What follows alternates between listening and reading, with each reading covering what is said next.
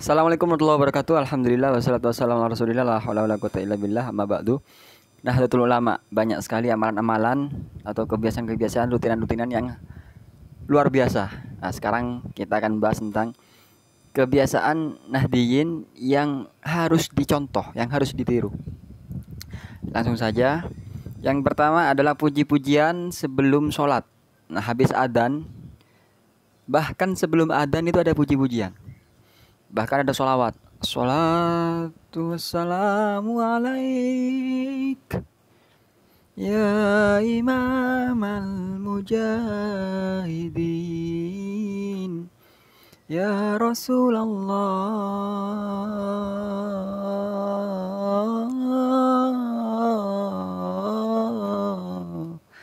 Itu sholawat. Luar biasa memang. Jadi sebelum sholat ada puji-pujian kadang syair tanpa waton. Ngawiting sun lawan ciran. Itu penuh makna itu kalau kita mau mendengar dengan serius dengan pengkajian yang teliti.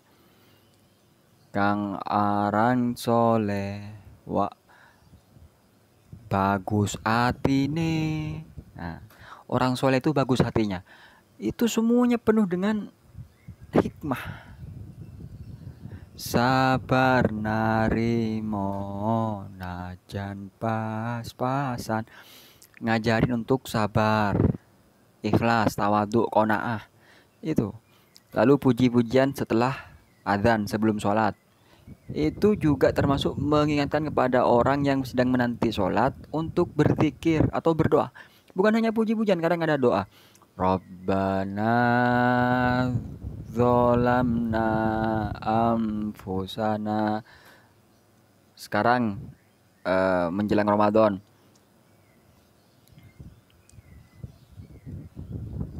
Rabbana barik lana fi rajaba wa sya'bana wa balighna ramadana waghfir lana dzunubana itu doa dan memang sunnah. Berdoalah antara adzan dan iqomah NU mengamalkan. Jadi ini mengingatkan kepada jamaah yang diam saja. Boh ini ada puji-pujian kok enak. Didengar saja sudah sudah sudah apa ya sudah terangsang untuk ikut berdoa. Apalagi ikut uh, bergumam bersuara luar biasa. Ah zikir setelah sholat. Jadi ini kan ada dalilnya. Amalan NU ini agar supaya jamaah yang tidak tahu yang tidak hafal ngikutin imam. Sehingga yang tidak tahu pun di NU itu bisa mengamalkan sunnah-sunnah Nabi. Ya karena memang NU ini berkelompok ramai-ramai. Itu yang harus kita lakukan harus kompak. Nah ini. Cinta habaib. NU ini cinta habaib luar biasa. Menghormati ahlul bait memuji menjunjung tinggi para ahlul bait. Luar biasa.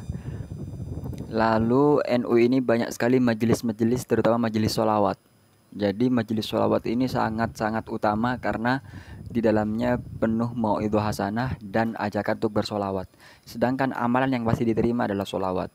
Luar biasa. Adimi sholat ala Nabi Muhammadi faqabuluha hatmun biduni taradduti. A'maluna bainal qabuli raddiha illa sholat ala Nabi Muhammadi. Terus penerus langkah bersolawat. Karena sholawatmu itu pasti diterima tanpa keraguan. A'maluna bainal qabuli raddiha. Amalan kita ini kadang diterima, kadang ditolak. Illa sholat ala Nabi Muhammad, kecuali sholawat pasti diterima. Bersolawat. Ah, manut kiai, manut kiai. Ini luar biasanya NU, manut kiai. Sama seperti yang tadi itu, zikir setelah sholat, ada orang yang tidak tahu, ikut imam, manut pokoknya wis, manut wis. Ini perlu catatan, kiai yang mana yang harus kita manuti, kiai mana yang harus kita ikuti? Positifnya adalah kita manut kiai. Kiai dawuah kita manut. Karena kita orang awam. Wa, wa, wajib ikut kiai. Tapi pertanyaannya kiai yang mana yang harus kita ikuti? Ya ini. Sekarang sudah banyak ulama-ulama yang yang yang yang menjual agamanya.